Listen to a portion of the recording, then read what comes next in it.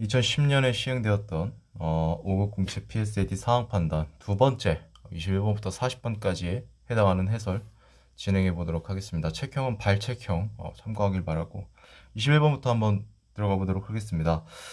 어, 자, 부합하는 것만을 모두 고르면 자, 해양 환경 보호를 위한 전문가 그룹의 최근 보고서에 의하면 전 세계 해양 오염의 이제 발생 원인을 봤더니 육상 기인, 해상 기인, 육상 폐기물에 해양 투기가 있다라고 합니다. 어, 이 기인이라는 거는 뭐 다들 아시겠지만은 뭐 이제 원인이다. 여기를 이제 뭐 원인으로 한다. 뭐 이런 뜻이죠. 그냥 육상이 뭐 77% 이렇게 해도 되는데 굳이 이렇게 어렵게 표현을 할 필요가 있나 싶어요. 있어 보이긴 하는데 딱 거기까지입니다. 쉽게 말해서 가오 잡는다고. 글도 가오 잡는 그런 글들이 있거든. 어. 자, 육상기인의 60%는 육상으로부터 그 다음에 40%는 대기를 통한 유입이라고 합니다. 자, 일단은 요거는 뭐 체크만 해두고 솔직히 지금 여기서 막 되게 힘주고 읽을 필요는 없습니다. 왜냐면 대다수는 이거 다 읽고 이제 이거 다시 보잖아. 이때 다시 어지간해서는 다 리셋됩니다. 그러니까 다시 리셋되기 때문에 또 이때 이제 찾아와야 돼. 그러니까 결과적으로 어 어차피 그 봐야 되니까 그냥 체크만 해두는 거야. 그래서 물어보면 이제 여기서 그때 판단하고 보면 되는 거니까. 자, 육상 폐기물의 해양 투기의 대부분은 어, 준설 물질이 차지하고 있다라고 합니다. 뭐 이유가 있다는 거죠. 그다음 이제 반면에 우리나라의 경우에는 자 이런 거 이제 중요하죠. 상황 판단 지문형 문제에서는 반면에 그러나 뭐 근데 뭐 이런 식의 그 포인트들이 중요합니다. 그러니까 체크 좀 해두고 우리나라의 경우에는 하수 온이 오염물질을 포함한 진흙, 축산 분뇨 등 유기물질의 해양 투기량이 준설 물질보다 많다라고 했는데 훨씬 능가, 그러니까 되게 강조를 하고 있는 거죠. 자 국제사회는 70년대부터 이미 어 해양 오염 방지를 위해서 뭐 협약을 발표하던가 뭐 이런 식으로 다 했다고 해요. 이런 스탠스를 취했는데 자 90년대에 들어서 육상기인 오염에 대해서 그 중요성을 인식하고 뭐 이런 것들이 뭐 이제 발족을 했다라고 합니다. 아 그렇구나 하고 넘어가면 됩니다. 음. 자, 우리나라에서는 77년도에 해양 오염 방지법을 제정하여 주로 어쩌고저쩌고에서 규제를 해왔고 95년도 시프린스호 사고 이후로는 어쩌고저쩌고 해가지고 96년도에 어, 해양수산부가 설치되었다라고 합니다. 그래서 한번 쭉 읽어봅니다. 뭐 이런 식으로 쭉 가고 오염 총량 관리제 뭐 도입도 추진했다. 어, 아 그렇구나. 어, 되게 해양 오염 방지를 위해서 노력하고 있구나. 딱 이런 글입니다. 자 기억부터 보도록 합니다. 우리나라의 육산 폐기, 폐기물 해양 투기 중 항로 확보 등을 위한 준설 물질의 투기 비율이 높으므로 자 어찌 보면 맞는 말인 것 같은데 그럴싸한데 아닙니다. 왜냐하면 여기 반면에를 보면 그러니까 이제 세계 오염에 보면 이제 육상 폐기물의 해양 투기 10%의 대부분이 사실 준설 물질인데 대한민국은 아니라는 거죠. 그렇기 때문에 반면에라는 부사를 썼습니다. 자, 우리는 뭐냐면 오니나 축산 분뇨 이런 것들 유기 물질의 투, 그 투기량이 준설 물질을 압도적으로 능가하기 때문에 기역은 틀렸다라는 거 우리가 어, 판단할 수 있습니다. 니은 자, 세계적으로 해양 오염을 야기하는 오염원을 보니까 대기를 통해 해양으로 유입되는 육상기인의 비율. 자, 이런 거 헷갈릴 필요 없어요. 이런 문제는 딱, 그러니까 보통은 이래요. 뒤에서부터 가면 됩니다. 자, 육상기인의 비율을, 비율을 물었네. 뒤에서부터 이제 꼬리에 꼬리를 물라고. 어, 77%야. 아, 근데 이렇게는 너무 쉽지 않아? 딱 봐도? 앞에 뭔가 사족을 붙였잖아. 이렇게 의심을 하면서 가다 보면 아, 대기를 통해 아, 육상기인에서 대기 원인이 뭐냐 봤더니 40%야. 그럼 77 곱하기 40이잖아. 얘 80으로 어, 아이 뭐 그렇게 뭐 이제 암산해도 되겠네. 뭐 30.8이래. 뭐 이렇게 대충 그냥 30% 약간 넘겠구나. 이렇게 하고 넘어가면 사실 됩니다. 자, 그러면 다음 뭐야? 육상 폐기물의 해양 투기의 비율은 뭡니까? 자, 우리나라는요. 그 육상 폐기물 해양 투기의 대부분이 어, 세계 그 추세와 다르게 얘네들 유기물질이다라고만 언급했지 해양 투기 그 비율이 몇 퍼센트다라고 언급하진 않았어. 그럼 뭐야? 세계의 비율을 따라간다라고 우리가 보면 됩니다. 그렇게 되면 결과적으로 뭐지?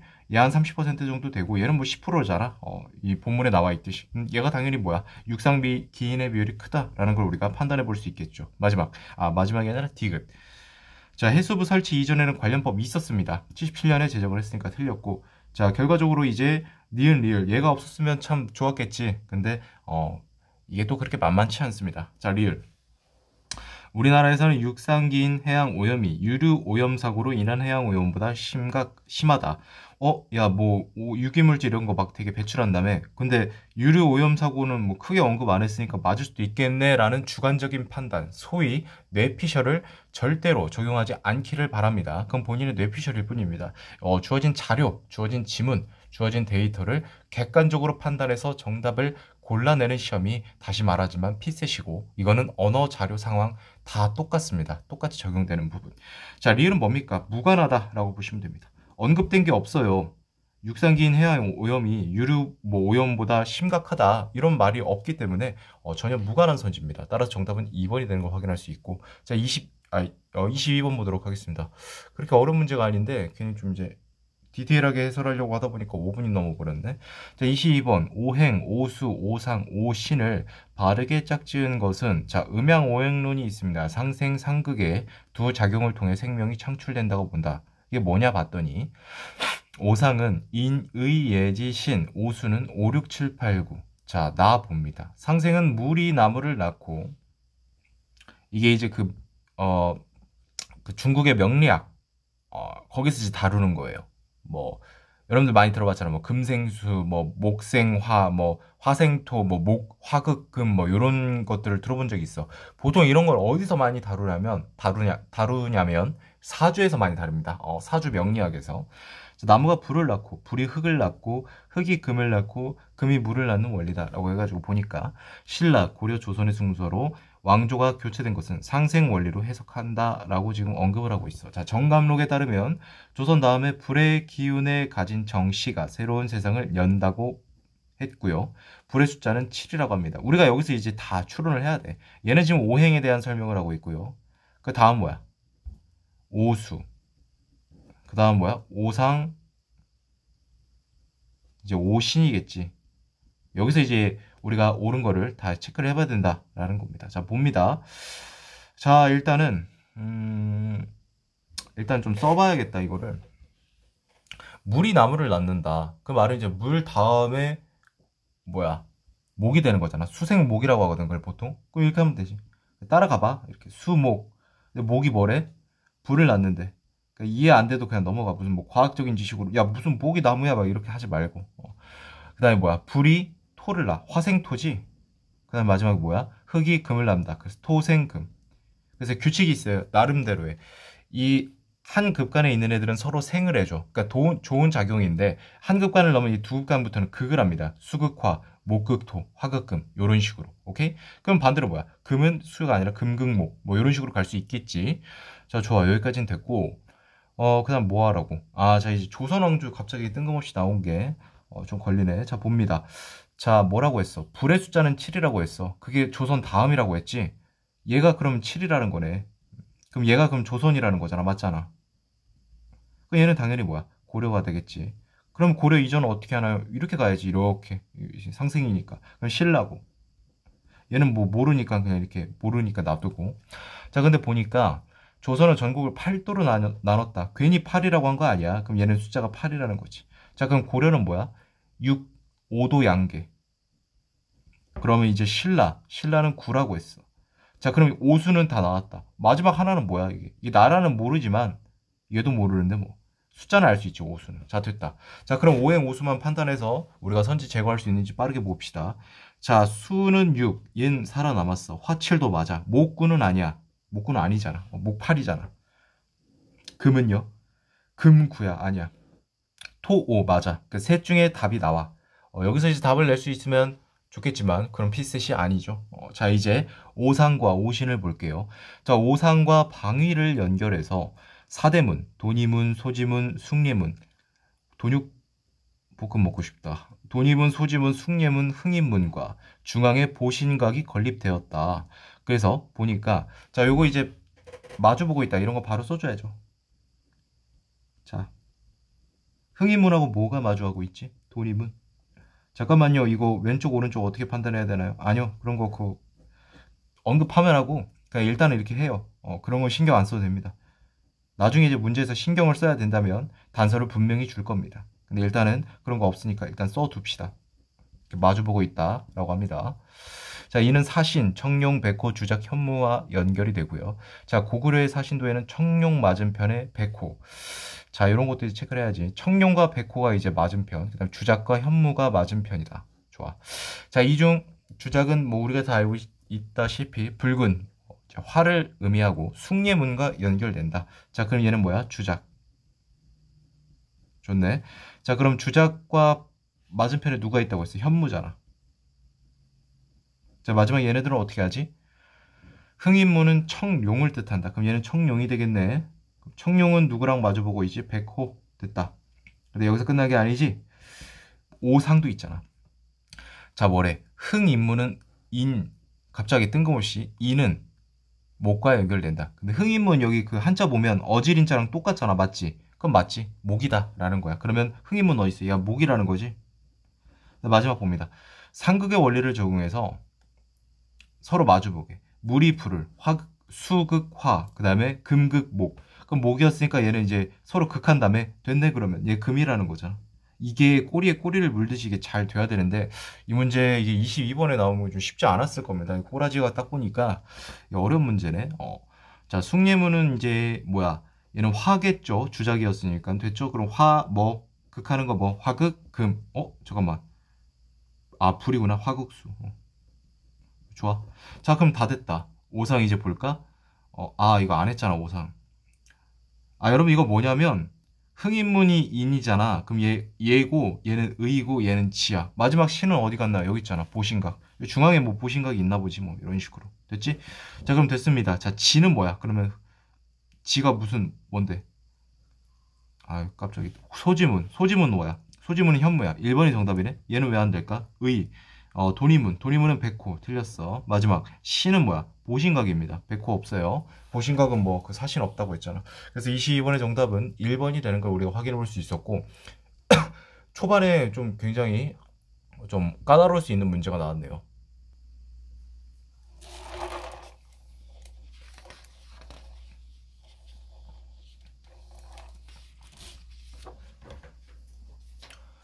자, 이때 상황 판단을 출제한 교수님 그 출제위원들이 이 민법을 굉장히 좋아했나 봐. 민사 분쟁 막 이런 것만 이렇게 많이 내지. 어. 그러니까 법조문이 최근 경향이랑 좀 달라. 법조문이 되게 여러 가지가 있잖아요. 뭐 건축, 세, 실생활, 뭐, 뭐 IT 막 여러 분야의 법조문들이 다 있는데 이게 왜꼭 뭐 민법, 형법, 그다음에 뭐 교도소, 형벌, 처우, 그다음에 뭐 사기, 뭐그 돈, 뭐 채무, 채권 요런 거 좀 그러니까 쉽게 말해서 그냥 그 법률 법조계에서 이제 다루는 그런 법들을 좀 많이 때려박아라서 2010년도는 자 옳은 걸 봅니다. 자 어. 법조문은 아니고 전형적인 상황 제시형 문제입니다. 근데 이제 법에 관련된 거죠. 민사 분쟁 이제 대표적인 그건데, 자 법원을 통해서 이제 민사 소송이 있겠지만, 근데 그거 말고도 이 분쟁 해결 제도가 4개가 있다나 봐요. 일단 보면 재수전 화해, 중재, 조정, 녹촉 절차. 자, 봅니다. 민사 분쟁의 당사자 한쪽이 지원, 지원의 화해 신청을 해서 단독 판사 주재 하에 행하는 것이다. 그래서 화해 조서가 작성되면 분쟁이 해결된다. 근데 성립되지 않으면 민사 소송을 제기하기 위한 소재기 신청을 할 수 있는데 이 소재기 신청이 있으면 어, 성립이 되지 않은 때가 아니라 화해 신청을 한 때를 기준 날짜로 해서 민사소송이 제기된 것으로 본다고 합니다. 중재는 뭐냐면 법관이 아닌 중재인의 판단. 그래서 이제 그 분쟁에 대한 판단을 분쟁 당사자의 합의에 의해 중재인에게 맡기고 그의 판단에 분쟁을 해결한다. 조정. 법관이나 조정위원회 가 민사 분쟁의 당사자 사이에 개입하여 화해로 이끄는 절차다. 분쟁 당사자는 지방법원에 조정을 신청하고요. 얘 또한 얘도 마찬가지로 조정이 성립되지 않고 종결된다면 조정을 신청한 때, 즉 조정이 종결된 때가 아니라 신청했을 때를 기준으로 민사소송이 제기된 것으로 본다라고 한답니다. 마지막 독촉 절차. 금전을 지급받을 것을 목적으로 하는 청구와 관련된 제도인데 채권자, 어, 돈을 받아야 될 사람이 신청을 하면 법원은 어, 빚을 갚아야 될 사람을 신문하지 않고 채무자에게 지급 명령을 한다. 그런데 지급 명령에 대하여 이의 신청을 하지 않으면 채권자는 확정된 지급 명령에 의하여 채무자의 재산에 대해 강제 집행. 그 여러분들 그 빨간 딱지 붙는 거 있잖아. 막 영화나 드라마에서 많이 보이잖아. 그런 겁니다. 그래서 상황 봅니다. 자, 갑은 을에게 자신의 X주택을 임대하고 있다. 임대차를 지금 체결한 지금 상황이네. 임대차 기간이 종료하자 갑은 을에게 여러 차례 비워줄 것을 요구했는데 을은 X에서 계속 생활하고 있다. 이러면 골치 아프지. 자, 기억 봅니다. 갑이 중재를 이용하기 위해서는 을과 합의가 있어야 된다. 자, 중재 여기 있습니다. 중재인의 판단으로 해결하는 건데 분쟁에 대한 판단을 분쟁 당사자의 합의에 의해 중재인에게 맡기, 맡기고 그 말은 뭐야? 야, 우리 중재하기로 하자 해서 당사자 사이 합의가 있어야 된다. 그래야만 중재인의 판단에 맡길 수 있다. 비로소. 그러니까 결과적으로 을의 합의가 있어야 됩니다. 독단적으로 갑 혼자서 할 수 있는 게 아니다라는 거지. 디귿. 재수전 화해 조정을 신청한 경우 그렇죠. 재수전 화해는 뭐 주어진 내용에 따르면 뭐 변수가 없습니다. 그냥 법관이잖아요. 단독 판사, 단독, 뭐 단독이라고 하잖아. 뭐 현, 형사 단독, 뭐 민사 단, 단, 뭐 단독 이런 식으로.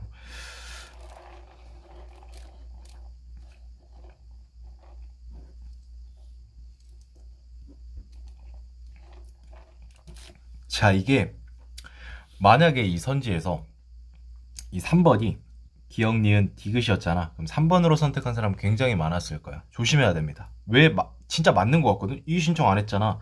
갑이 법원에 독촉 절차를 신청했다며. 그럼 강제 집행할 수 있는 거네 하는데 함정입니다. X주택은요. 갑 거예요. 갑의 재산입니다. 채무자의 독촉 절차는 채무자의 재산을 강제 집행하는 거야. 말이 안 되지. 어. 가뜩이나 자기 X주택에 지금 알바끼 하고 있는데 그 갑자기 쥐 재산을 이 뭐야 강제 집행하는 게 말이 되냐고. 말이 안 되잖아. 그러니까 아니지. 자 리을 봅니다. 어 화해 조정 중재로 해결할 수 있다는데 법관이 모두 진 한다라고 했는데. 자 화해 맞죠? 법관. 근데 이 조정 같은 경우는 조정위원회. 어쨌든 법관이 들어가. 근데 중재는 아니야. 법관이 아닌 중재인의 판단이었으니. 그래서 1번이 정답이 된다 라는 걸 우리가 파악해 볼 수 있습니다. 24번 봅니다. 자, 갑 주식회사의 감사위원회는 9인으로 구성되는데 법률 규정에서 밑줄 친 부분에 해당하는 자를 골라라. 자, 감사위원회는 3인 이상의 이사로 고생한다. 다음, 다만, 다음 각 호에 해당하는 자가 위원회 이제 3분의 1을 넘을 수 없다. 그래서 전형적인 그런 그 뭐 감사 이사, 이 그 위원 정수에 관한 법조문 문제입니다. 전형적으로. 근데 뭐가 좀 많네. 7개의 호가 있네. 자, 이런 거 같은 경우는 이거부터 보고 얘를 봐도 어차피 얘를 보면 또 다시 얘를 봐야 되거든. 그러니까 바로 선지부터 보고 찾아가는 게 맞아요. 발췌한다고 하지. 자, 기억 봅니다. 가업 주식회사 최대 주주. 자, 이런 거 되게 중요해. 나는 이제 이걸 개인적으로 피하 식별이라고 합니다. 뭐 군인이세요? 아니, 그런 건 아닌데 군필은 맞는데 그냥 그렇게 표현을 해. 가업 주식회사 최대 주주 A의 법률상 배우자. 자, 세 개로 나왔습니다. 아, 오케이, 알겠어. 그럼 갑 주식회사라며. 자, 봅니다. 최대 주주라는 키워드를 빠르게 찾아가 봐야겠지. 자, 최대 주주가 여기 있습니다. 두 개가 있어요. 자, 자연인은 뭡니까? 뭐 윤택 씨 나오고 이승윤 씨 나오는 뭐 나는 자연인이다 생각하면 진짜 좀 엎드려 뻗쳐서 좀 반성을 해야 됩니다. 자연인은 그냥 일반적으로 사인, 사인을 뜻해요. 그러니까 개인, 사람을 뜻한다고 보시면 돼요. 법에서 말하는. 법인은 뭐 여러분들이 알고 계시는 뭐 회사 이런 단위라고 보시면 되는데. 자, 어찌됐건 법률상 배우자는 회사가 아니잖아. 자연인이잖아. 그러면은 여기를 가봅니다. 그러면 자 뭡니까?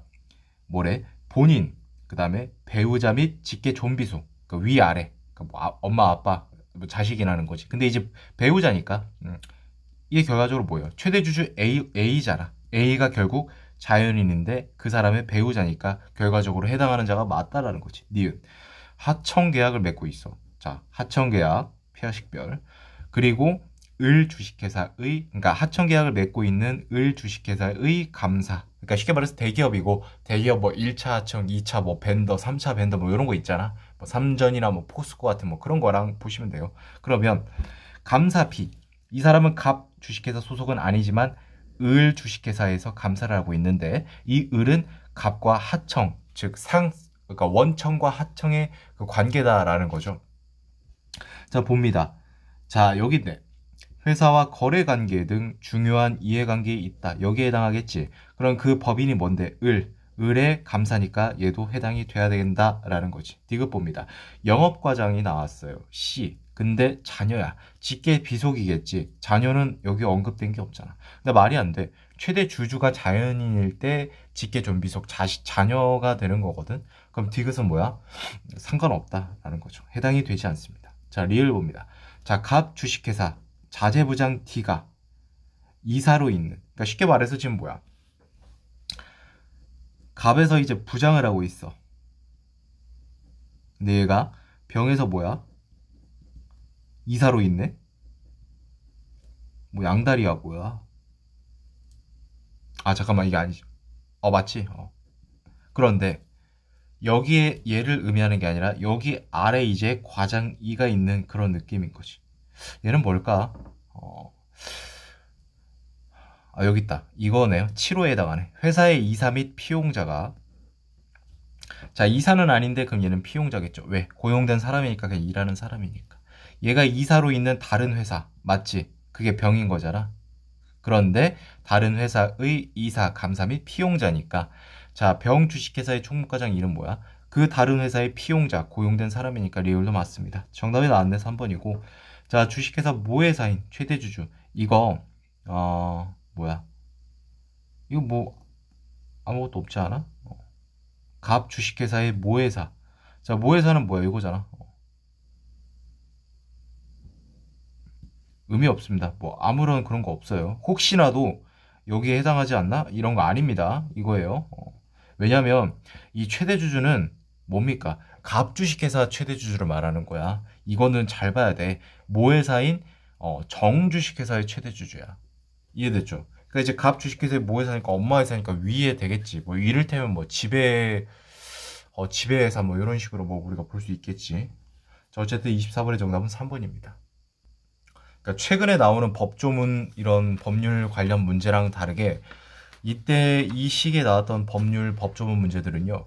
이쪽에 그 지식이 있는 사람들은 좀 쉽게 풀 수 있는데 그게 아니라면 조금 난해할 수 있는 그런 문제들이 좀 많이 나왔어요. 그러니까 쉽게 말해서 약간 기울어진 운동장 이런 느낌이라 보면 돼. 25번 봅니다. 협상 원칙에 부합하는 거.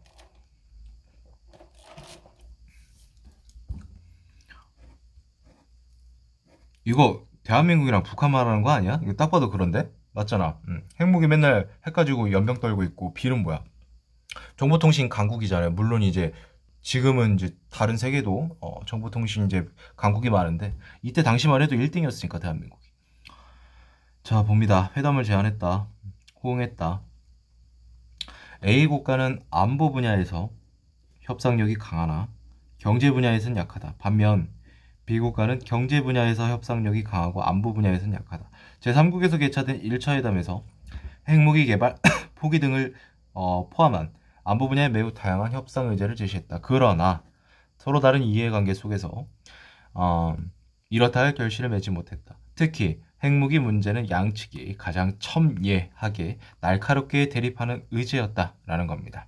그러니까 날카롭게 대립하면 된다고 하지 뭘 또 첨예라는 단어를 쓰냐. 아, 아 정말 싫다 나는 이런 이렇게 막 괜히 한자 표현 쓰고 하는 거. 이렇게 하면 뭐 있어 보이고 멋있나? 뭐 가오를 잡아야 돼. 양측이 가장 뭐, 어, 뭐야, 복잡하게, 그러니까 막 난해하게, 그냥 어렵게 뭐, 어, 쉽지 않게 뭐 대립했다 뭐 이렇게 하면 되지. 맞잖아. 자, A 국가는 향후 개최될 회담을 위하여 다음과 같은 협상 원칙을 세웠다. 협상 의제가 여러 가지이므로 합의에 도달하기 쉬운 것부터 우선 영상. 어, 좋아. 합의에 도달하기 쉬운 것부터. 체크만 해둡니다. 자, 비국가의 회담 대표와 친분이 두터운 인사에게 자, 비공식 채널을 통한 협의를 맡긴다. 협상력이 강한 분야는 협상 시한을 미리 확정. 협상력이 약한 분야는 지원 전략을 구사한다. 자, 문제에서 뭐라고 했냐면 B국가가 아니라 A국가가 세운 협상 원칙에 부합하는 것, 즉 북한이 세운 협상 원칙에 부합하는 걸 골라라 라고 보시면 될 것 같아요. 기억부터 볼게요. 핵무기 문제를 우선적으로 협상한다. 합의에 도달하기 쉬워 보여? 아닙니다. 가장 날카롭게 대립했다며 자, 비국가의 회담 대표와, 어, 그렇죠. 이건 이제 그 인맥을 통해서 전략이죠. 안보 분야의 협상 시한을 결정하여. 자, A국가 강한 분야가 어디였다고 했죠, 협상에? 안보에서 강하다고 했으니까. 강하면 뭐? 미리 확정한다. 좋습니다. 마지막. 경제 분야는 약하다고 했죠. 전화 협상을 벌여서라도 신속히 해결 아니죠. 약한 분야는 지연 전략을 구사하니까 틀렸고 니은닉은 3번이 정답이 되는 걸 우리가 확인해 볼 수 있었습니다. 자, 26번 보겠습니다. 다음 글을 읽고 갑구가 취할 조치로 옳은 거는 아까 아까 뭐 23번이었나? 민사소송 관련 문제 풀지 않았어요? 또 민사소송이네. 봐봐, 내가 억까하는 거 아니라니까. 맞잖아. 어. 법탁후가 이걸 문제를 냈나? 이 교수가 법, 법 오덕후인가? 너무 심한데? 어, 너무 기울어진 운동장인데. 물론 이제 그 민법 이런 거를 몰라도 풀 수는 있겠지만, 유리한 건 사실이에요. 그걸 아시는 분들이. 자, 민사소송이 가장 바람직하게 이루어지고 진행되기 위해서는 A, B, C, D가 실현되어야 된다. 이상이 아이디얼릭하게. 자, A를 보니까 법원이 사실을 인정할 때 정확성을 기하여 실체적 진실을 발견하고 어, 올바른 재판. 그러니까 이제 A는 간단하게 말하면 이제 이상의 뭐야? 올바른 그러니까 어, 올바른 정확하고 올바른 재판. 자, B는 심리에 있어서 그치 균등한 기회를 줘야 되고 그러니까 이건 이제 기회 기회의 측면이겠죠. 좋아. 자 C는 뭐야?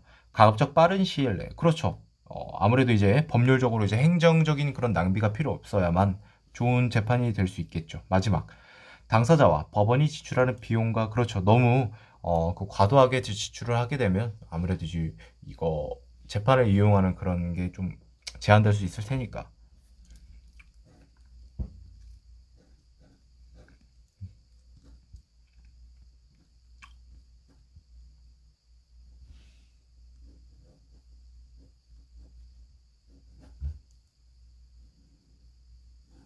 그냥 충돌한다고 하면 되지 이것도 굳이 또 상충된다고 또 이렇게 또 표현을 해버리네 그지? 어. 물론 상충이란 뭐 다 이제 대부분 아는 표현이긴 한데 근데 감히 말하는데 상충 요즘 피셋 공부하는 사람들뿐만 아니라 전 국민에게 말하면 상충이란 표현 말하면 뭐 상추? 그 쌈 싸먹는 거? 이런 사람들 많을걸요? 어. 아, 이좀 바뀌어야 돼. 어. 그래서 이와 같이 서로 상충되는 이상들을 어떻게 조화시키느냐 하는 것이 민사소송의 큰 과제랄 수 있다. 자, 각 국가의 민사소송 절차는요. CD는 일단은 만족한다라는 겁니다. 그럼 얘네들이 약하다라는 뜻이겠죠. 자, 그러면 CD는 볼것 없고 AB를 강화시키는 그런 선지가 뭔지 우리가 찾아보도록 하겠습니다. 자, 기억부터 보도록 할게요. 소송 당사자가 정당한 이유 없이 소송을 수행하지 않을 때 소송 수행의 불이익을 자, 신속하게 이건 시간의 측면이죠. 근데 C, D, D C잖아. 이거는 관련 없어. 자, 심급 제도를 3심에서 4심으로 늘린다. 이건 맞을까요? 고민이 많을 거야. 그런데 기억이 틀리니까 제거를 하니까 니은 리을은 무조건 맞을 수밖에 없는 거야. 그래서 이제 아 이거 맞아? 하고 이제 갸우뚱하고 넘어갔겠지. 근데 사실은 그렇게 하면 좀 찝찝하겠지. 자, 요거는 A예요. A에 해당하는 건데 왜 A인가요? 3심인데 4심이면 뭐 더 복잡해지고 시간도 오래 걸릴 거 아닙니까? 돈도 많이 들고. 그쵸? 틀린 말은 아닌데 이미 C, D는 이상적으로 우리가 실현하고 있다고 가, 마, 가정을 했기 때문에 그걸 고려하지 않는 거지. 자, 정확성을 기해서 실체적 진실을 발견하고 법률 조정을 타당하게 함으로써 올바른 재판을 이끌어 내야 된다라는 거죠. 자, 1심, 2심, 3심에서 끝나는데 자, 4심으로 가게 되면 뭐야?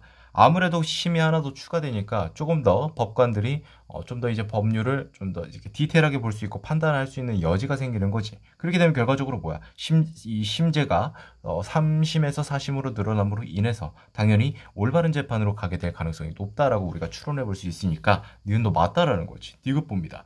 민사 분쟁에서 하급심 판결에 불복해서 상급심 법원에 제소할 수 있는 요건을 강화한다라고 했어요. 요거는요. 균등한 기회를 준다. 뭐 이런 거하고는 아무런 관련이 없어요 지금. 맞잖아. 얘는 무관합니다.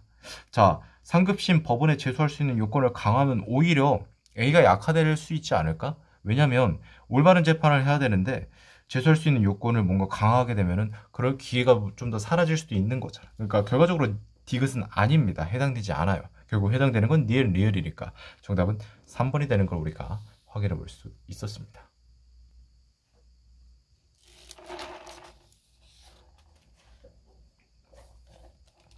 자, 27번 봅니다. 카지노를 경영하는 사업자는 관광진흥 개발 기금을 내야 한다. 만일 내지 않으면 체납된 납부금에 대해서 100분의 3, 즉 3% 가산금이 1회에 하나여 부과된다. 그런데 가산금에 대한 연체료는 없다. 연체이자 이런 게 고려하지 않겠다라는 뜻이겠죠. 자, 징수 비율 한번 볼까요? 10억 원 이하 1%. 자, 10억 원 초과 100억이야. 오케이, 알겠어. 1천만 원 플러스. 음, 아, 오케이. 10억 원 초과분. 그러니까 뭐냐면 어 10억 원이 제 1%가 1000만 원이잖아. 그걸 이렇게 떼는 거야. 자, 이제 연간 총 매출액이 100억 원 초과. 얘는 뭐야? 4억 6천에다가 100억 원 초과의 10%. 좀 많이 매기네. 자, 갑은 10억. 을은 90. 병은 200억이라고 합니다. 자, 납부금 전액을 체납을 했다. 10억 아닙니다. 10억의 3% 아니고요. 음.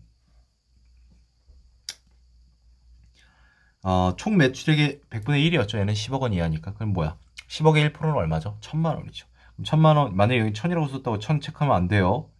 납부금의 가산금은 얼마야? 체납을 했으면 3%라고 했죠. 그러면 1000에다가 3% 하면 30만 원. B 봅니다. 아, 을 봅니다. 을은 90억입니다. 여기죠. 1천만 원하고 10억 원 초과하는 금액에 8, 조심하세요. 90억이라고 하지 말고 80억에 100분의 5니까 5%지 4억이라는 거야. 즉 4.1억이야. 이 4.1억을 그 지능개발 관광지능개발 기금으로 내야 돼 을은. 근데 기한 내에 납부금으로 4억만 냈어. 그럼 이제 1천만 원이 남은 거야. 뭐래? 그러면 체납된 납부금이 1천만 원이라는 거지. 똑같네. 30. 자 마지막 C 봅니다. 이거 딱 봐도 아니 아닐 것 같죠? 이거 정답 1번이 무슨 어떻게 이게 3,100만 원이 나올 수 있지? 좀 말이 안 되는데 수치가. 자 14억을 냈어요. 매출액이 200억이래. 그러면 뭐야? 4.6억에다가 100억 초과분이 100억이니까 거기에 10%면 10억이지. 그 결과적으로 14.6억이다. 그런데 기한 내에 얼마? 14억을 냈어. 그 결과적으로 얘한테 남은 건 얼마? 6천만 원일 뿐이야. 6천만 원의 3%니까 9구단을 외자해서 6, 3, 18이 되겠지. 따라서 1번이 정답이 되는 거 우리가 판단할 수 있어요.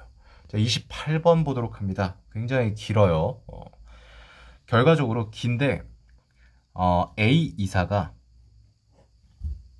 국외 출장을 가니까 일비, 숙박비, 식비가 얼마인지 즉 세 카테고리를 찾아라 라는 문제입니다. 문제가 긴 건 사실인데 그나마 다행이야. 왜냐하면 만약에 A 이사가 아니라 과장 몇 명, 뭐 사원 몇 명 하고 또 뭐 대리급, 사원급, 과장급 이지랄로 나눴으면 더 복잡해집니다. 이제 보통 이제 그런 문제는 상황 판단보다는 자료 해석에 나옵니다. 어, 왜냐하면 자료 해석은 좀 계산이 상황 판단 영역에 있어서 보다 어, 좀 더 디테일하니까. 자, 여비의 종료 뭐 이건 볼 필요 없고 일수의 계산 봅니다. 여행의 실제되는 소요 일수에 의하는데 국외 여행을 간다고 했는데 자 국내 출발일은요 목적지를 그 다음에 어, 국내 도착일은 출발지를 여행하는 것으로 본다. 그러니까 쉽게 말해서 내가 인천국제공항에서 푹, 어, 미국으로 좀 출국을 했거든. 그럼 그 당일날 비행기 타는 당일날 그때는 미국을 여행한다. 그다음에 이제 뭐야 어, 도착일은 뭐야 어, 미국에서 이제 다시 한국으로 가야 되잖아. 어, 그때 이제 또 미국을 여행한다라고 이제 따지겠다라는 거지. 자, 숙박비는 숙박으로 기준으로 하고요. 일비는 일수에 따라 뭐 흔히 알고 있는 일비는 뭐 일수, 숙박비는 박수, 밤의 수가 박수니까. 그런데 항공편 이동 중에는 따로 숙박비를 지급하지 아니한다. 조건을 또 붙여놨어. 그러니까 좀 더 복잡한 문제겠지. 자, 식비는 일수에 따라. 다만 또 조건을 붙여놨네.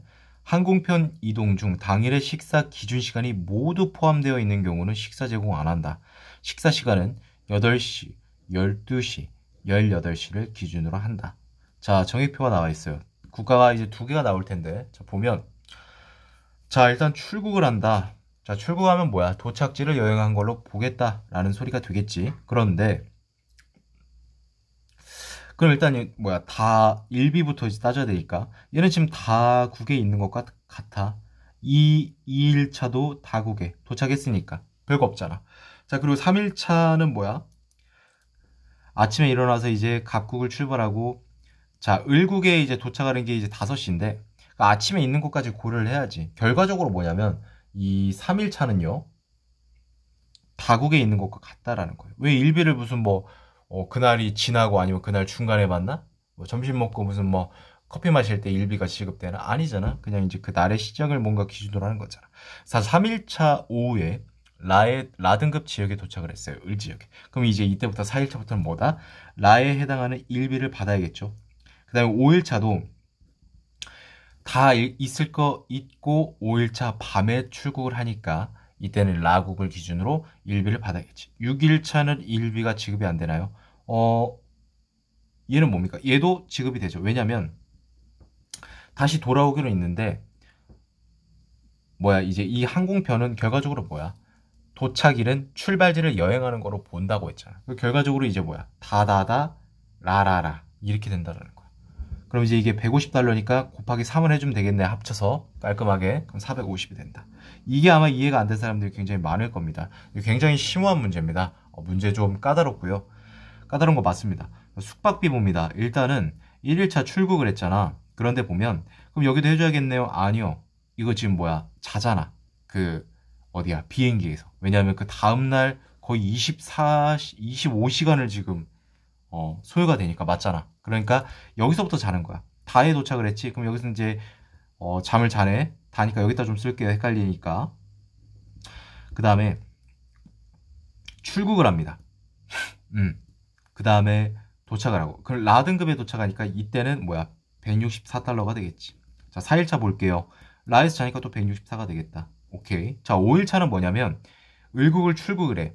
그 다음에 그 다음날 밤 8시에 도착하니까 결과적으로 어 뭐야 어 이때는 숙박비를 고려한다 안 한다 안 한다. 그럼 얘네들은 뭐야? 328이잖아. 328이니까 이 뒤에만 보자. 2833 61이네. 61이 뭐가 어땠네 3, 4분 중에 답이 나오고 마지막 식비 보도록 할게요. 자 출국을 했어. 그리고 그 다음날 도착을 했어. 얘는 이제 뭐야? 그럼 결과적으로 이제 비행기 탔다고 가정을 하는 거지. 이때 다 비행기 시간이니까 아니야. 2일차 봅니다. 다등급을 도착을 했고 만찬을 먹었어. 그러니까 결과적으로 얘는 102달러가 들어간다라는 거지. 식비가. 이 만찬하고는 다른 거예요. 만찬 먹었으니까 식비 지급 안 되나요? 그거 뇌피셜입니다. 그거랑 별개로 그냥 식비 지급하는 거예요. 자, 3일차 봅니다. 얘는 뭐야? 아침에 밥 먹고 뭐 먹고 하고 을국을 도착해. 어찌됐건 얘는 뭐냐면 아침 점심을 다 갑국에서 먹은 것과 다름이 없어요. 그러니까 결과적으로 이제 다등급에서 먹었다라고 우리가 파악을 하면 됩니다. 자, 4일차 봅니다. 얘 을국을 먹었으니까 얘는 85가 되겠지. 5일차도 먹을 거 다 먹고 출국하잖아, 85. 자, 마지막은요. 어, 이때 비행기에서 다 해결이 되니까 자, 170과 204 더하면 뭐가 된다? 374. 그 정답은 3번이 된다는 걸 우리가 확인해 볼 수 있습니다. 아시겠죠?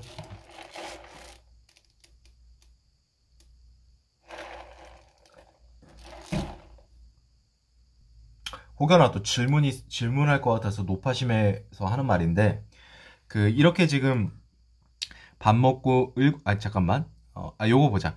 어 각국에서 점심까지 먹는 건 알겠는데 을국에서는 저녁을 먹잖아요. 틀린 말은 아니거든. 근데 이제 왜 그러냐면 왜 제가 근데 얘 어, 식비를 100위로 했냐면 여기 있어서 그래. 같은 날에 여유액을 달리 하여야 할 경우에는 많은 액을 기준으로 지급한다. 오케이? 이해됐어요? 어. 그러니까 결과적으로 이 둘 중에 많은 액이 뭐야? 100이잖아. 어. 오케이, 이해됐죠?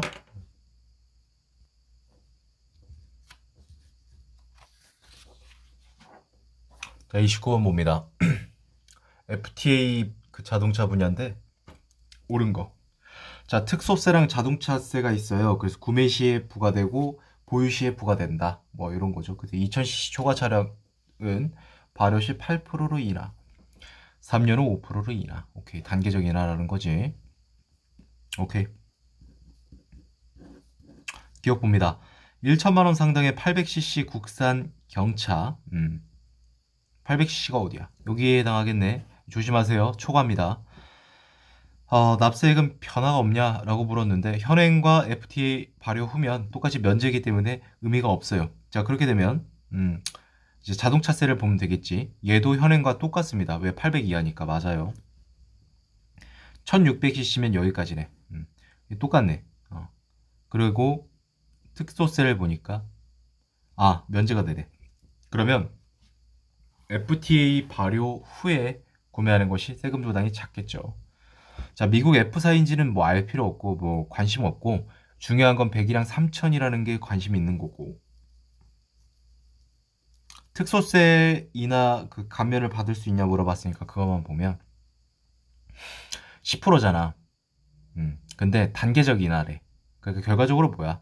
어찌됐건 중요한 건 8%, 즉 2%포인트, 최소 2%포인트 그 할인을 받기 때문에, 어, 낮아진 특, 특별 소비세율을 적용받을 수 있다. 이게 맞다라고 보면 됩니다. 정답 나왔네. 왜 세금 감면 혜택이 없어?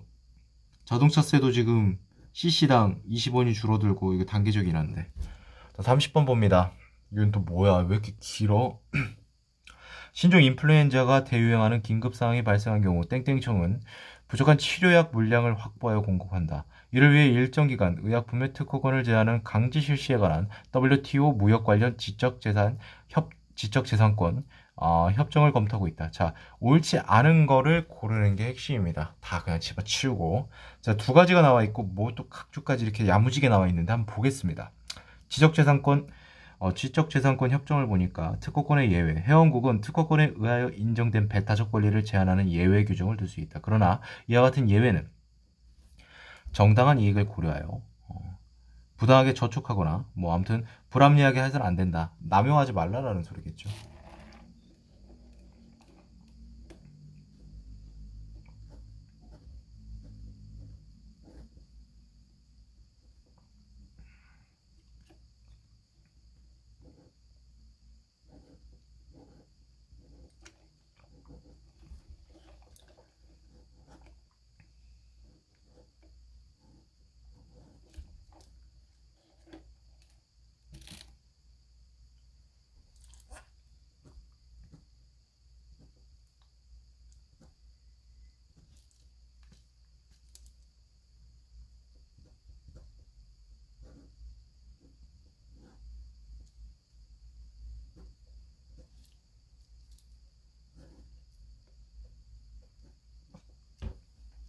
자, 간은 긍정적이고 나는 약간 부정적인 그런 느낌이네. 그러니까 뭐냐면 간은 어, 특허권을 부여함으로써 이제 그 개발하는 사람들의 뭔가 동기부여가 될 수 있고 또 그 사람들의 동기부여가 결과적으로 이제 기술 발전과 문명 발전으로 어, 이루어진다, 귀결된다라는 걸 의미하고 있고 긍정적으로 보고 있고 나 같은 경우는 그 독점권을 부여하는 게 결과적으로 아무래도 독점권을 부여하면 그 막 다른 회사에서 함부로 그 독점권에 대한 뭐 의약품을 만들 수가 없겠지. 생산할 수 없는 거잖아. 뭐 화학식, 분자식 이런 게 있겠지. 그 매뉴얼 제조법 같은 게. 근데 그게 이제 특허권이 있으니까 우리도 만들 수 있지만 만들 수 없는 이유는 어, 특허 그것 때문에. 그렇게 되면 결과적으로 어, 제품을 생산하는 그런 어, 공장은 뭐 한정적이고 수요가 만약에 늘어난다면 결과적으로 이 인플레이션이 올라가게 되면 결국 가격 상승을 야기시키게 된다는 거겠죠. 약간 부정적인 스탠스다. 자, 마지막 봅니다. 이게 뭐야? 강제 실시가 뭐냐 봤더니 정부가 비영리 공익적 목적을 위해 특허권자의 독점적 배타적인 권리를 제한하고 타인에게 그 권리를 일시적으로 이용하는 거죠. 지속적이 아니라. 그래서 특허 약, 의약품의 복제약을 생산 공급하게 하는 강제 조치. 그러니까 뭐 긴급한 상황을 요할 때 뭐 이런 행동을 할 수 있겠죠. 이런 스탠스를. 자, 1번 봅니다. 그렇죠. 공중의, 공중의 건강이라는 건 결과적으로 비영리적인 목적인 거잖아. 맞지? 그럼 결과적으로 어, 사익을 제한할 수 있겠죠. 맞아요. 자, 국가 비상사태, 여기잖아. 노력을 하지 않더라도 왜? 그게 아니라면 노력을 하였으나 실패로 끝난 경우에만 허용된다고 했으니까 맞아요. 그렇겠죠. 강제실세를 빈번히 강제실시를 그 사용하게 되면 야 이러면 특허권이 무슨 의미가 있냐? 내가 이거 죽으려고 이렇게 열심히 연구해서 딴 보람이 없다 의미가 없다 라고 생각할 수 있겠지. 그럼 결과적으로 실효성에 대한 불신을 초래할 수 있겠지. 왜?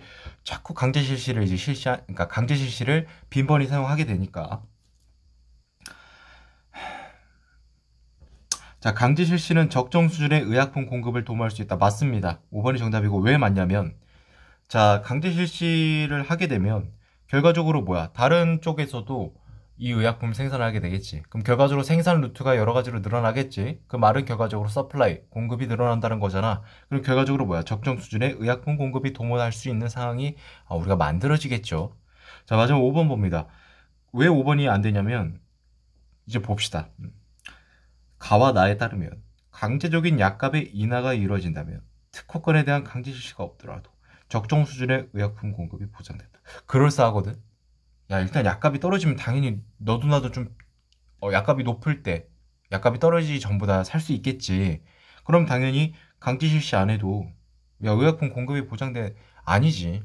그건 수요가 나아지는 것뿐이지 수요가 늘어나는 거지 공급이 보장되는 건 아니잖아. 약값의 인하가 이루어진다면 괘씸하다 생각해가지고 이걸 안 할 수도 있어요 회사에서. 어 회사의 이익은요 나라보다 1순위가 자기네 기업의 그 이익 창출의 극대화가 1순위입니다. 어, 맞잖아. 솔직하게 틀린 말 아니잖아. 맞아요. 회사는 비즈니스인데 왜 비즈니스라는 그 단어를 쓰겠어요 회사를 맞잖아요 어. 결과적으로는 어, 말이 안 돼. 약값이 인하가 이루어진다 해서 어, 적정 수준의 의약품 공급이 보장된다고 우리가 볼 수 없어요. 근데 왜 4번은 되나요? 다르다니까. 4번과 5번은 어, 의약품 공급에 도모할 수 있다라는 표현 때문에 같아 보이는데 절대로 아닙니다. 얘랑 얘는 달라요. 어, 강제 실시는 적정 수준의 의약품 공급을 도모할 수 있는 그런 지금 상황이 될 수 있겠지만 약값을 그 인하시킨다고 해서 강제 실시를 안 한다고 해도 안, 그러니까 강제 실시 안 해도 약값을 그 줄인다 해서 나, 내린다 해서 의약품 공급이 보장된다는 어, 그런 건 없습니다. 왜냐면 여기 나에 나와 있잖아. 이 독점권 부여가 결과적으로 의약품에 대한 접근성을 제한하기 때문에 결과적으로 독점권을 이걸 좀 약간 좀 완화를 시킨다면 당연히 어 이제 뭐야 접근성이 이제 좀 편리해지겠다. 근데 여긴 어디에도 그 가격에 대한 그런 막 언급은 없어요. 그러니까 무관하다라고 좀 보면 되겠죠. 이 문제가 왜 이렇게 추상적이지? 이거는 좀 상황 판단보다는 언어 논리에 좀 어울리는 문제인데. 이런 게 상황 판단 문제거든. 제대로 된. 왜 저런 애매한 것들을 이렇게 낼까? 31번. 자, 갑은 을로부터 5차에 걸쳐 7천만 원 빌렸는데 10년도 2월 5일에 1천만 원을 갚았다. 자, 다음 조건을 근거로 할 때 채무 현황에서 2010년 2월 5일에 전부 또는 일부가 소멸된 채무는 연체이자 그 밖에 다른 조건은 고려하지 않는다. 자, 보겠습니다. 이행기가 도래한 채무 변제로 먼저 소멸한다. 당연한 거겠죠. 2월 5일날 갚았다고 했지. 그러니까 이는 아직 이행기가 도래하지 않았네. 그러니까 A, B, C, D 위주로 살피되 A, B, C, D에서 반드시 답이 나온다라는 걸 우리가 추측, 추론해 볼 수 있습니다. 이행기가 도래한 채무관에는 이자가 없는, 그러니까 이자가 있는 것부터 우선한다. 그럼 얘가 최하위겠네요. 최, 그러니까 우선순위에서 가장 밖으로 밀리겠네. BCD 중에 답이 나온다는 소리잖아. 고 2일부터. 그럼 BD 중에 답이 나온다는 소리네. 자, 그러면 BD 중에 뭐? 이율이 같아. 그때는 이행기가 먼저 도래한 채무나 도래할 채무. 그럼 결과적으로 도래할 건 아니야. 둘 다 지났으니까. 그럼 결국 도래한 채무 먼저. B가 정답이 된다라는 겁니다. 30번이 어려워서 31번을 좀 더 편하게 이렇게 준 것 같아요. 32번 봅니다. 근로장려금 신청 자격 요건에 대한 정부 제출안과 국회 통과안의 내용이다. 자, 옳지 않은 거. 자, 이건 좀 빨간색으로 풀어보겠습니다. 자, 총소득. 부부의 연간 총소득 제 연봉이 합산 연봉이 1,700만 원 미만일 것. 자, 부양자녀. 좌동 같다는 소리입니다. 음. 2인 이상. 모두 해야 돼. 어느 하나가 아니라 모두 갖춘 그것도 두 명 이상.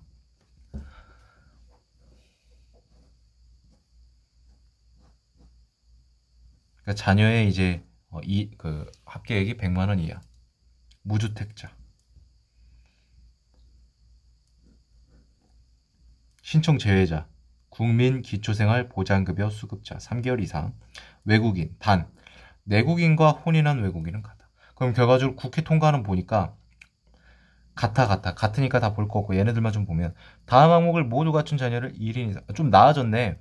두 명보다 한 명만 있어도 되는 게 어, 아무래도 이제 조건이 뭐야 완화된 거니까 이런 뭐야 그러니까 선언지를 갖다 놨네. 그러니까 요거는 선택지를 하나 더 늘린 거야. 기준 시가 5천만 원 이하의 주택을 한 채 소유할 것. 가능하다라는 거죠. 그러니까 늘어난 그러니까 좀 더 완화시킨 거네 이게. 그러니까 예를 들어 3천만 원짜리 어 뭐 작은 빌라 하나 가지고 있어서 안 된대요 라고 했는데 국회 통과하는 그것까지 이제 우리가 완화했다. 그럼 결과적으로 통, 아, 할 수 있는 거죠 신청 자 기억 봅니다. 옳지 않은 거를 찾으라고 했죠. 대상자의 수가 줄어드는 게 아니라 늘어납니다. 총소득과 부양자녀 요건을 모두 충족합니다. 그리고 소유 재산을 보니까 어, 주택, 토지 이거 합치면 1억이죠. 둘 다 통과할 수 없습니다. 그럴싸해 보이거든. 맞겠지. 왜? 이거 어 A에 따르면 이제 주택이 있으니까 안 되겠지. 근데 얘는 뭐야? 5천만 원 이하 가능하다면 5천만 원이니까 오 맞네 이렇게 하면 틀, 큰일 납니다. 그게 틀린 말은 아닌데 재산에서 걸려. 재산이 1억인데 1억 원 미만이어야 돼. 그러니까 어이없지만 1억에서 1원이라도 그러니까 9,999만 어, 9,999원부터 신청을 할 수 있어요. 그러니까 1억 원이니까 안 됩니다. 불가능해요. 이것은 맞겠네.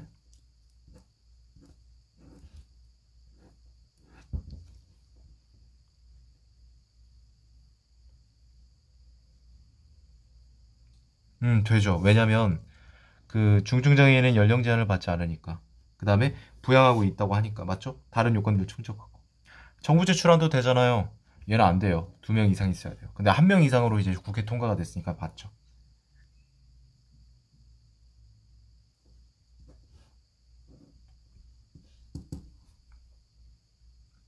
가능합니다. 정부 그 정부 제출안도. 그래서 32번의 정답은 4번이 되는 걸 우리가 확인해 볼 수 있었습니다.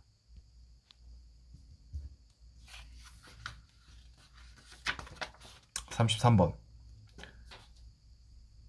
가불병정 4명의 직원으로부터 국외 연수 신청받아 어, 자 중요한 건 현행과 기준에 개조 적용할 때 선발 가능성이 가장 높은 직원을 뽑아라 라는 소리입니다.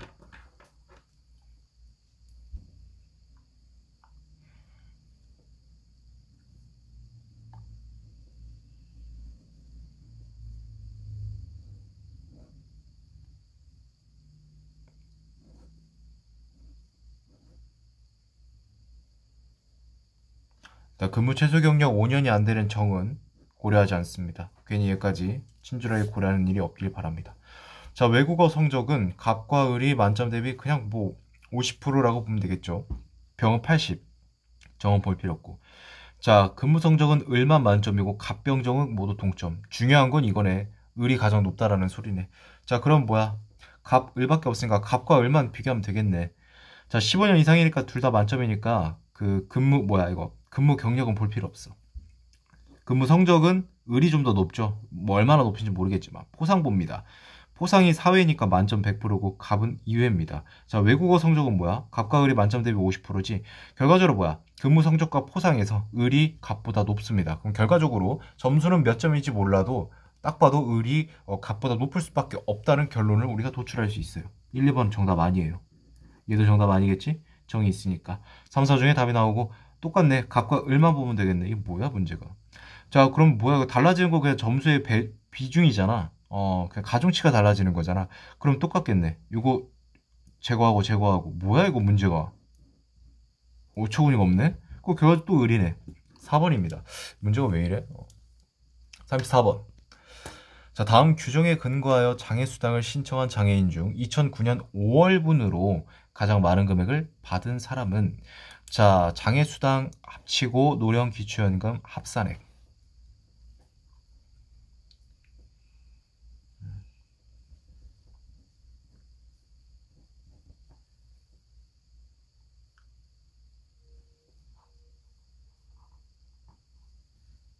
이게 중요하죠. 노령 기초연금을 받고 있는 사람은요. 해당 월분에 대한 즉 50%만 지급한다라는 소리지. 15일 이전이면 모두 지급하는데 16일 이후에 신청을 했으면 그 월은 50%만 뭐야 지급을 하겠다라는 소리고 장애수당과 노령기초연금이 있어요. 얘는 이제 65세만 해당이 되는 거지. 이상부터. 자 보겠습니다. 1번은 노령기초연금이 들어가네. 갑 1번이 아니고 자상위 계층의 2급이니까 자 일단 봅니다. 6만원 일단 기초 받으시고. 2급 장애인이야? 차상의 2급 장애인 12만원인데 26일날 신청을 했어. 그럼 일단은 50%는 깎여요. 그런데 여기서 끝나는 게 아니야. 이 노령 지금 연금을 받고 있어요. 또 50%를 해야 돼. 결과적으로는 25%라는 거지. 4분의 1 얘는 9만원을 받습니다 갑은. 을은 기초연금 받지 않죠. 수급자 3급 장애인입니다. 10만원이고 16일날 신청을 했으니까 아, 조금 하루 늦어, 늦어서 안타깝게도 반절이 되겠죠. 5만원. 병은요? 기초연금 아니고 차상이 3급이니까 8만원인데 5월 8일이니까 전액 지급이 되겠다. 그죠? 자, 정은요? 수급자 4급 장애인 10만원. 얘들 10만원이야? 어, 됐네. 자, 마지막 무 보겠습니다. 자 80세 차상위계층 8만원의 기초연금이 들어가는데 18일날 신청을 했고 6급 장애인 차상위입니다. 여기죠. 6만원인데 여기에 몇 퍼센트? 50% 아니 25% 왜? 50%두 번이니까 자 15,000원이니까 95,000원 받습니다. 결과적으로 가장 높은 돈을 받는 건 정이 되겠습니다. 4번이요.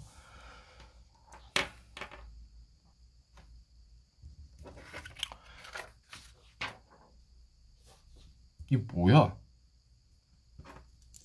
자, 일단 봅니다. 국무회의 좌석 배치에 관련된 내용인데, 아, 전원 참석했다, 국무위원이. A, B에 앉게 될 사람. 국무회의 구성원 보면, 대통령, 국무총리, 국무위원 15명.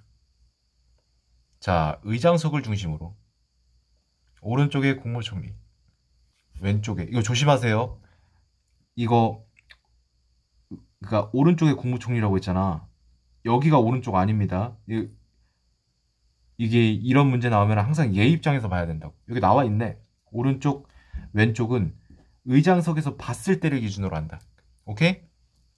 얘 봤을 때 뭐야? 국무총리가 여기, 여기가 되는 거지. 총리 이렇게 쓸게요. 그럼 얘는 뭐야? 기재부 장관. 좋아. 이렇게 된다는 거지. 여기다 쓰자.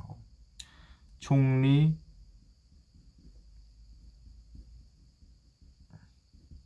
헷갈리겠다. 칸이 작아서. 자, 그 다음에 뭐야? 의장석 맞은편의 오른쪽. 의장석 맞은편은 두 개가 있어요. 그러니까 얘 입장에서 봤을 때 맞은편은 오른쪽. 즉 A가 되겠지. A가 뭐야? 어, 교육과학기술, 교육과학기술부. 이 시기에는 교육과학기술부였죠. 지금은 이제 과기정통부랑 교육부가 나뉘지만 A는 교육장관이 그러니까 2, 3, 4 중에 하나. 이거 세 개 많다고 해서 여기 중에 하나인 사람들 어, 물 먹었겠다. 그렇게 풀었으면. 자, 외교는 이제 외교는 여기가 되겠지? 맞죠? 자, 이제부터 갑니다. 외교통일부 장관석의 왼쪽에 음, 뭐야? 법무부 장관석을 배치한다. 얘 입장에서 왜 그러니까 얘가 바라봤을 때 왼쪽이니까 여기 이제 법무가 되겠지.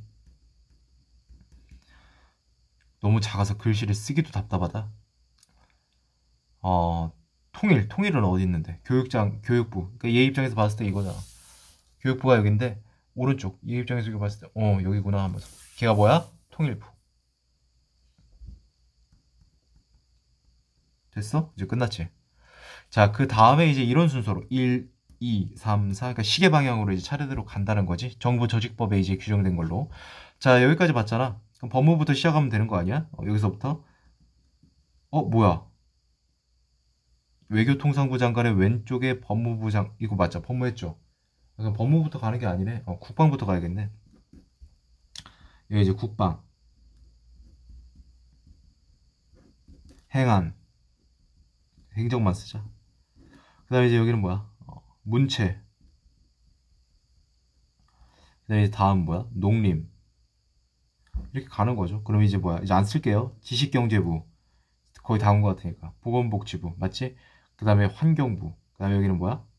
어, 이쪽이었지? 어, 노동부. 그 다음에 이게 여성부. 마지막 국토, 국토네? 그러니까 이게 파악만 하면 굉장히 쉬운 문제인데 파악하기가 좀 쉽지가 않을 거야. 왜냐면 35번이라 후반부라서 시간을 거의 다 쓴 상태라서 굉장히 이제 똥줄이 타는 상태에서 이걸 보면은 좀 달라, 달라지거든요. 어쨌든 정답은 5번이었습니다. 36번. 시뮬레이션 할 때 최초 탈락과 최종 승리와 최종 승리팀의 승수를 물어봤어요. 자, 봅니다.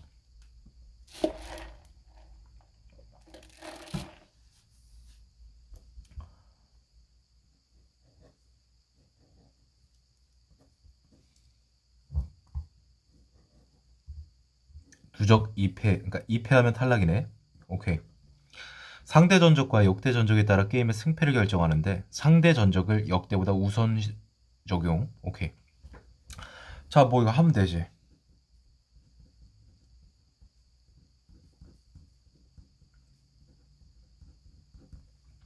자, 상대 전적을 우선한다고 했죠? 그럼 결과적으로 A랑 C랑 붙으면 누가 이기죠?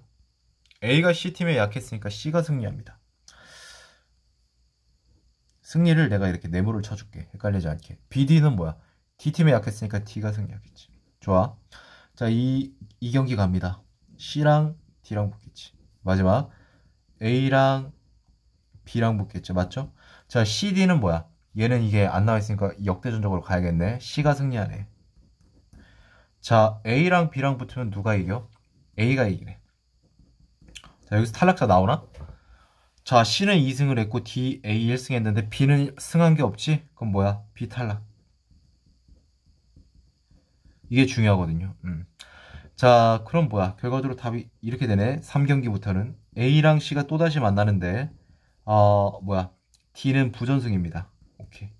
그럼 결과적으로 이제 3경기의 결과는 D가 승리하고 A, C 하면 누가 이겨? C가 이기죠. 자, 그리고 A는 졌어. 근데 1경기에서 A도 이미 졌잖아. 그 A는 2패가 누적된 거네. A 탈락. 자, 게임 끝났다. 그죠? 어, 누가 승리합니까? CD. C가 최종 승자입니다. 자, 몇 승 했습니까? 승리할 때까지. 4승 했고요. 최초 탈락 B. 3번입니다. 뒤에가 더 쉽네.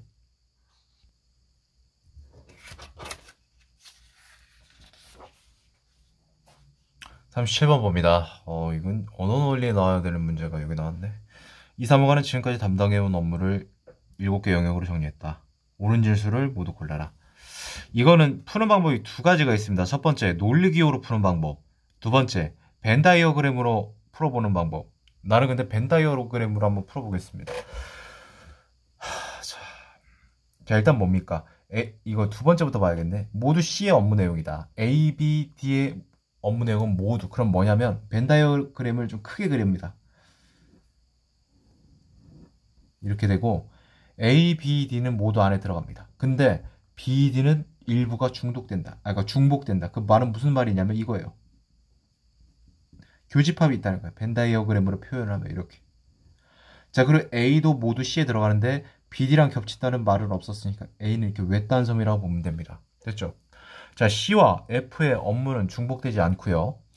E의 업무 내용은 모두 F의 업무 내용이다. 그럼 F를 크게 따옵니다. C보다는 좀 작게. 그 다음에 어, E의 업무 내용이 모두 이렇게 들어가면 되겠죠. 왜? C와 F는 중복될 수가 없기 때문에 이렇게 나눈 겁니다. 그리고 G의 업무 내용 가운데 일부가 자, 요거는 이제 어, 별도의 케이스니까 이렇게 헷갈리지 않게 체크를 해두면 돼요. 그러니까 뭐냐면 이렇게 일단은 별도로 그려두고 문제에서 이걸 융합을 한다. 그럼 뭐야? 간단해. 이 벤타이어그램을 그대로 옮겨서 대조해서 비교해 보는 거야. 판단해 보고. 오케이? 그러면 끝이야. 자, 마지막. 아, G의 업무 내용과 BD의 업무 내용은, 그러니까 G의 업무 내용은 BD. 그러니까 뭐냐면, G는 A랑 어딘가에 조금은 겹칠 수 있어. 그런데 얘네들은 죽었다 깨어나도 중복되지 않는다라는 걸 의미하는 거지. 자, 그럼 총 3개의 벤 다이어그램을 그려봤고 기억부터 한번 우리가 보도록 할게요. 기억. C의 업무 내용은 모두 G의 업무 내용. 이 말이 안 되지. 얘가 안으로 들어갔다 가정을 해볼게. 그럼 결과적으로 뭐야? G랑 G 안에 BD까지 있는 거잖아. 인정? 맞죠? 이해, 이해됐죠? 그 말은 뭐야? 이거 위배되잖아, 이 조건에. 어딨어? 어, G의 업무 내용은 BD와 중복되지 않는다. 결국 기억은 오, 옳은 진술이 아니에요. 이건 반드시 틀린 진술입니다. 뭐 알 수 없는 uncertain 이런 지문이 아니야. 우리가 흔히 뭐 TFU라고 하잖아. 그래서 뭐 true, false, uncertain 해가지고 참, 거짓 이건 뭐, 뭐, 뭐 모른다. 근데 모르는 것도 아니야. 그냥 얘는 틀렸어. 니은 G의 업무 내용은 모두 C의 업무 이거 가능하지. 왜? G를 이렇게 하잖아. 이렇게 할 수 있는 거예요. 얘랑 안 겹치고 얘랑 겹치고. 그리고 C 안에 G가 들어가면 안 된다라는 말이 어디에도 없거든. 그러니까 얘는 맞아요. 그러니까 무관하다. 그러니까 논리적으로 표현하면 무관하기 때문에 어, 얘는 양립 가능합니다. 그러니까 동시에 성립이 가능하다고. 디, 디귿. 이의 업무 내용이 모두 G의 업무 내용. 이것도 가능하지. 얘를 뭐 이렇게 보면 되는 거잖아. 그러니까 뭐 F가 여기 이렇게 있고 이, E를 이렇게 넣어도 되고 아니면 이 안에 G를 이렇게 조그맣게 이렇게 갖다 놓는 거지. 상관없습니다. 할 수 있어요. F의 업무 내용은 G의 업무 내용과 중복될 수 있다. 이게 뭘까? 가능하지. 어떻게 해요? 이렇게 하면 되지. 자, 보세요. 뭐라고? F의 업무 내용은 G 업무 내용과 일부가 중복될 수 있다고? 아, 오케이. 어, 어떻게 볼까? G랑 E는 뭐 겹치면 안 된다 이런 조건 없잖아. 이렇게 하면 되지. 이 상태에서 마지막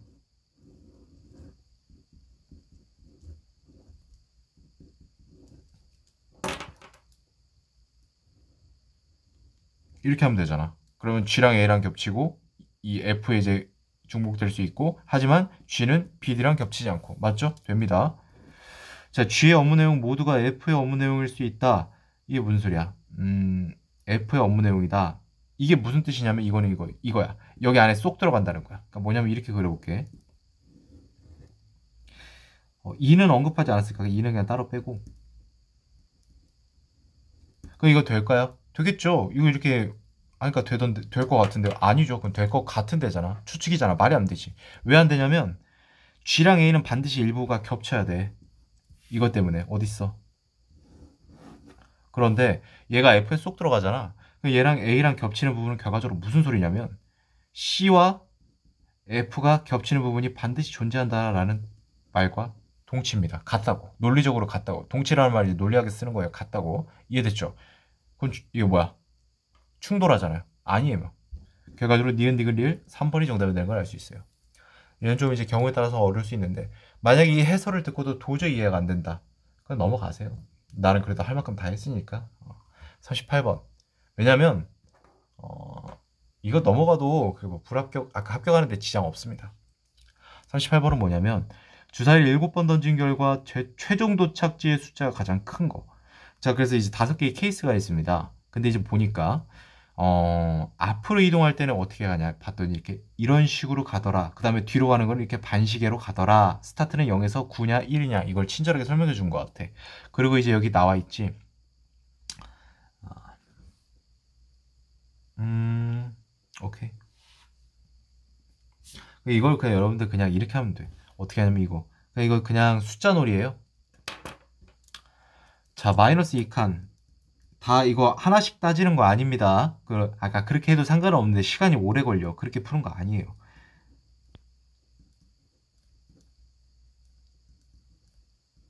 자, 소거되고 소거되고 소거되니까 결과적으로 마이너스 2칸을 가는 거야. 근데 마이너스 2칸이 무슨 뜻이야? 반대, 뒤로 이동한다는 소리겠지. 0에서 시작한 다음에 8이라는 소리야. 최종 숫자가 8이라는 거야. 이해됐죠? 이렇게 풀면 돼요. 자, 3이 봅니다. 마, 마이너스 2. 얘는 1, 마이너스 2. 마이너스 2 예, 썼잖아 1 상세 상세 마이너스 3이네 그럼 7이잖아 얘는 뭐야?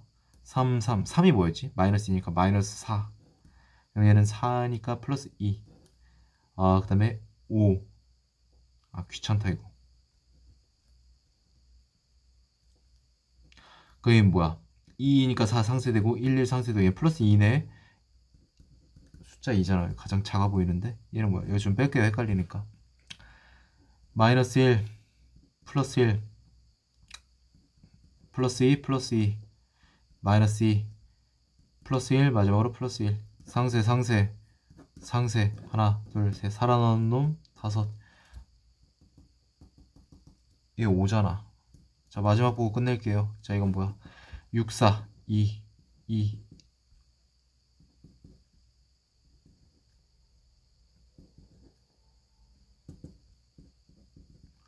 어, 상세 마이너스 1칸. 얘가 1등이네. 왜냐하면 한 칸만 가니까 9. 5번이 정답입니다.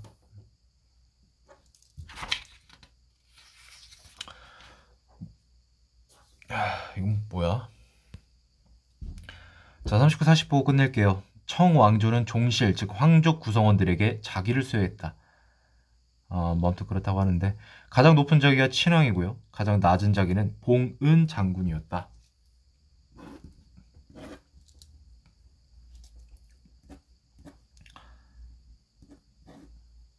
친왕의 적장자 첫 번째라는 거지.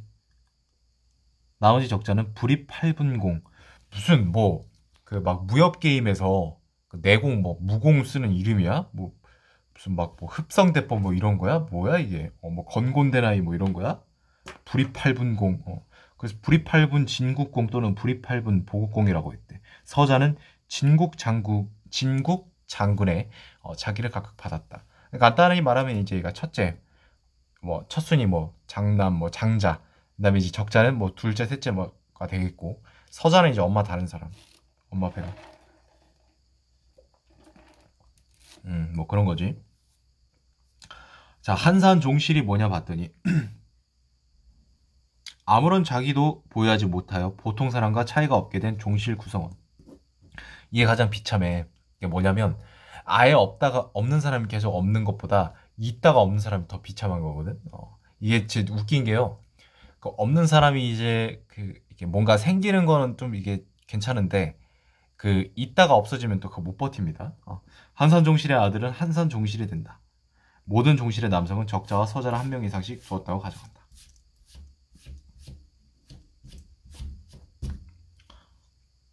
내가 만약에 어, 군왕의 아버지가 군왕이었다면 나는 진국 장군이에요. 난 서자거든요. 그러니까 조선 그 옛날 시대로 말하면 난 서자입니다. 어, 서자라서. 음. 39번. 가불병정 네 사람은 모두 군왕 A의 후손이다.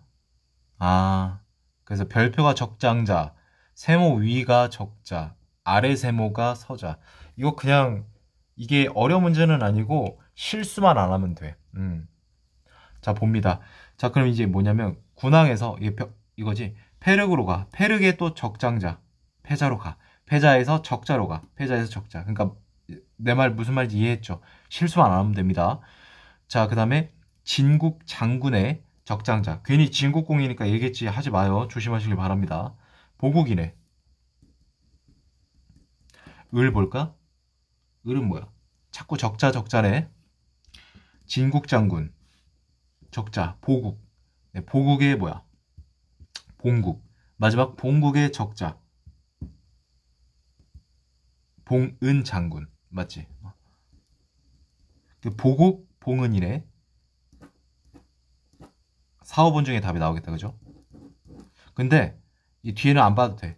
이 둘 중에 차이가 나거든. 시간 아깝잖아. 어차피 한번 나오니까. 그럼 병만 보고 끝냅시다. 자, 얘는 뭐야? 어, 서자네. 나랑 똑같네. 어, 진국. 진국에서 진국 장군의 적장자 보국 장군 맞지? 어, 보국 장군. 자, 보국 장군의 서자, 아, 보국 장군의 서자 한산 종실. 자, 그럼 뭐 한산 종실을 따져야 될까? 아니지. 한산 종실은 그냥 그때부터 한산 종실이니까. 5번입니다. 자, 마지막 40번 보고 끝낼게요. 위 글과 표에 근거한 추론으로 타당하지 않은 것. 자, 서자는 봉훈 장군의 자기를 받을 수 없었다. 받을 수 없다. 어디에도 봉은 장군이 없네요. 네. 그럼 받을 수 없는 게 맞겠죠. 어떤 한산 종실, 한산 종실은 그 조부가, 즉 할아버지가 친왕이었다. 이거 어떻게 하냐면 그냥 거꾸로 가면 돼. 친왕의 할아버지일 때 한산 종실을 이끌어내는 것이. 근데 만약에 안 된다면 이 말이 맞는 거겠죠. 자, 어, 서자. 친왕의, 친왕의 서자가 진국 장군이거든. 그 진국 장군의 서자. 가능하네. 1세대, 2세대. 할아버지니까. 맞아요. 자, 적자는요. 자기를 받을 수 있는 서자 사이의 차별은 기껏해야 한두 등급. 즉, 적자, 얘네 둘이지. 그러니까 이제 한두 등급 차인지 봐야겠다. 자, 진국장군과 불입 8분공.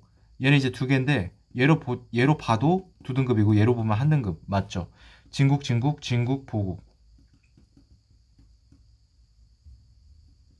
얘는 아니야.